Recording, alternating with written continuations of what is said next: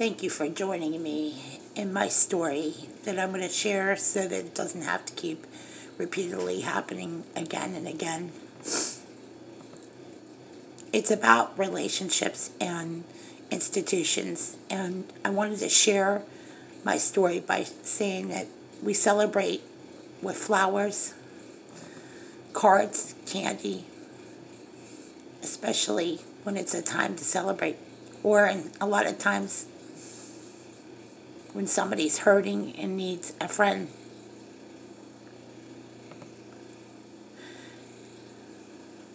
I do not celebrate when I talk about the things I'm going to talk about today. So I wanted to take you to this really pleasant place. A place that I would go to if I had the chance to right now. I just cannot go to this quiet, babbling brook, but that's as close to what I enjoyed living for the time that I was in recovery when I first started out in domestic violence recovery in 2010. And there have been a lot of places that here in Pennsylvania that are full of institutions that don't provide a natural escape that I had in Missouri. And I don't envy anybody here in Pennsylvania at all. Because most of the same thing happens to everybody. They're all either in institutions or rehabs to some degree. When I left for Missouri, I got a chance to experience what a natural escape felt like. I left behind the institutions of Pennsylvania.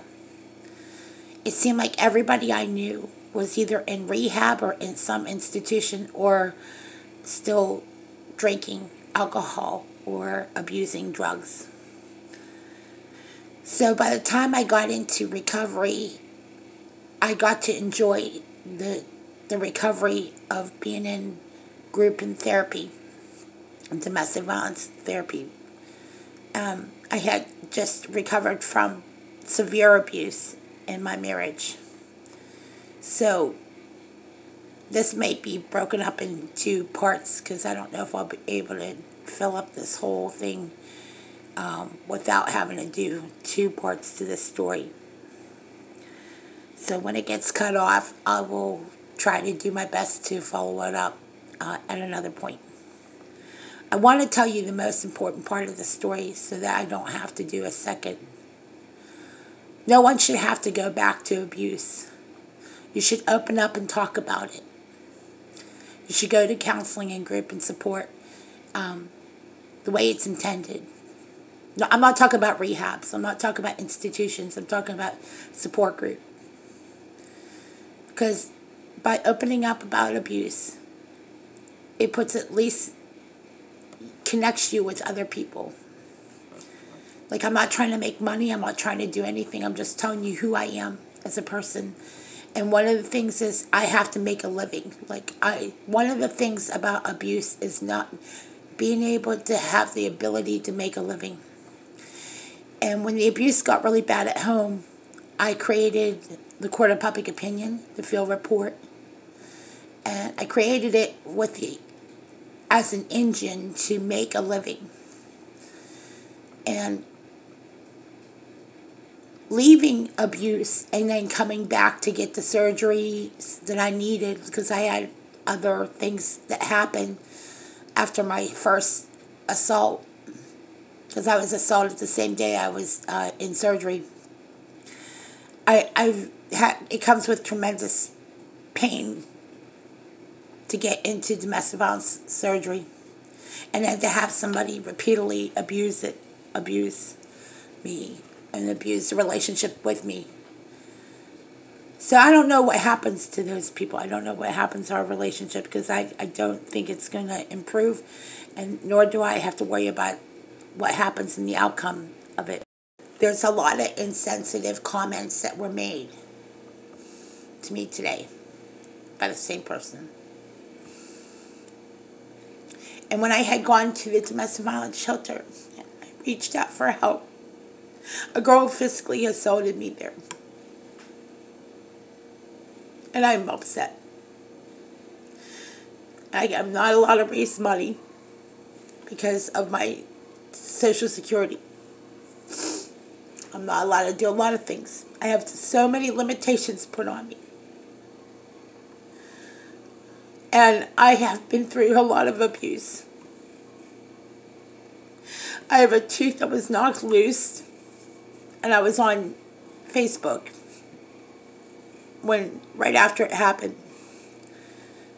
And I had been really broken by this experience. This is all while I'm dealing with a predatory towing matter. I ran out of gas and I had trusted a lot of people. Not because I had wanted to, because I had I had to believe that in all this that it would work out. Because I didn't trust anybody and I had no reason to trust anyone. I had been a battered wife. I had been battered by my husband pretty bad. I don't have to believe in anything anybody says or does. I don't have to give anyone that kind of space in my life.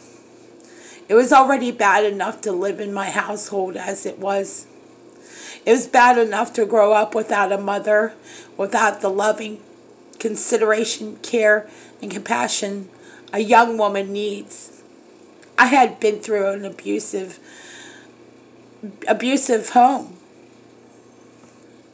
So when I turn to my YouTube page, I want to be able to blog.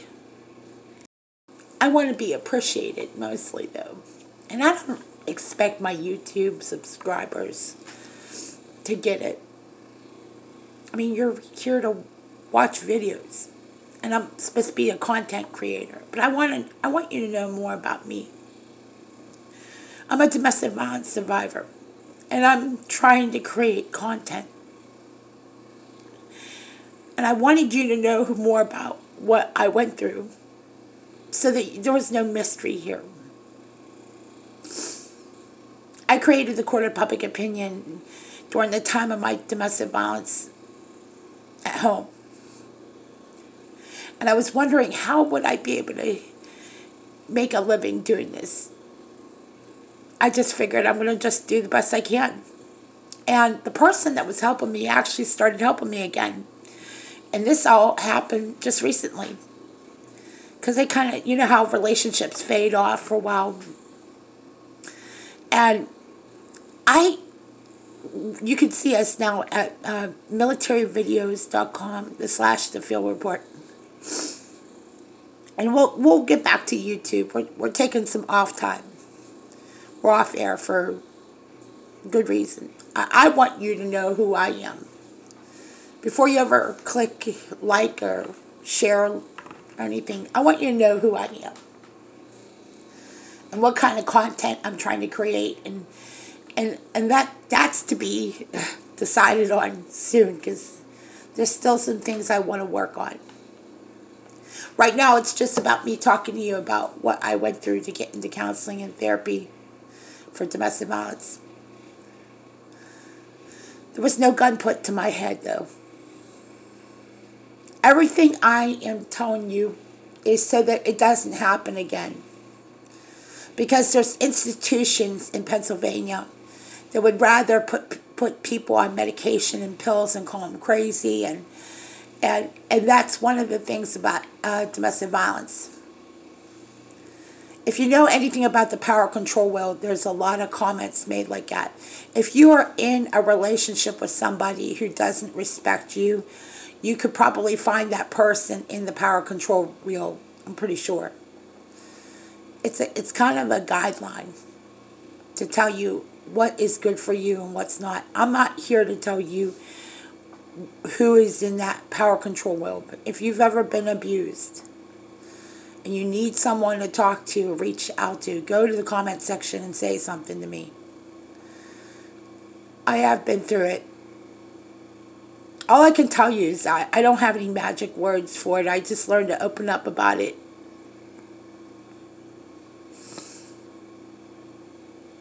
It grieves me because it took me a long time to tell you this story I'm telling you. It all started in 2007 and 8 and it really got bad 2009 and into 2010. I finally left. And it seemed to all surface again here because it's family. And stealing off of somebody who's survived abuse or hitting somebody who's already been a survivor of abuse.